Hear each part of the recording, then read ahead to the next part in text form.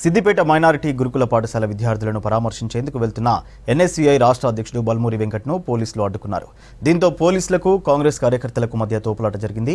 ఈ గొడవలో బల్మూరి వెంకట్కు గాయాలయ్యాయి. మొదటగా వెంకట్ను చిన్నకోడూరు పీఎస్కు తర్వాత తొగుట గజ్వేల్ పీఎస్లకు తరలించారు. బల్మూరి వెంకట్ స్పృహ కోల్పోవడంతో గజ్వేల్ హాస్పిటల్లో అడ్మిట్ చేశారు. ఆ తర్వాత మెరుగైన ట్రీట్మెంట్ కోసం హైదరాబాద్ యశోద హాస్పిటల్కు తరలించారు. ప్రస్తుతం ఆరోగ్యం నిలకడగా ఉందన్నారు డాక్టర్లు. పండగ టైం లో ఉంది సార్. ఆడ ప్రాణం ప్రాణం పోతుంది పండగ అన్న వెహికల్ లేవాలా? పండగ పెట్టాలి పండగ పెట్టాలంటే సార్ ఇది. అన్న.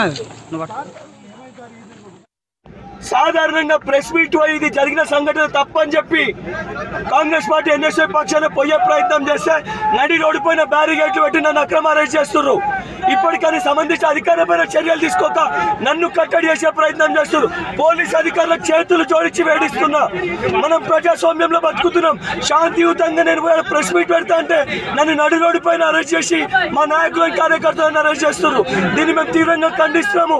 దీన్ని ఆపకపోతే రేపు పొద్దున తీవ్ర పరిణామాలు ఉంటాయి. హుజరాబాద్ ఉన్న యువత అంతా రోడ్లపైకి వచ్చి పెద్ద ఎత్తున ఆందోళన చేస్తారు. హరీష్ రావు. ఇప్పటికైనా నీ చర్యలు మానుకో. సమస్యని పరిష్కరించే దిశగా ఆలోచించండి అక్రమ అరెస్టులతోటి మా ఉద్యమాన్ని ఆపలేమని చెప్పి ఈ యొక్క రాష్ట్ర ప్రభుత్వాన్ని హెచ్చరిస్తున్నా.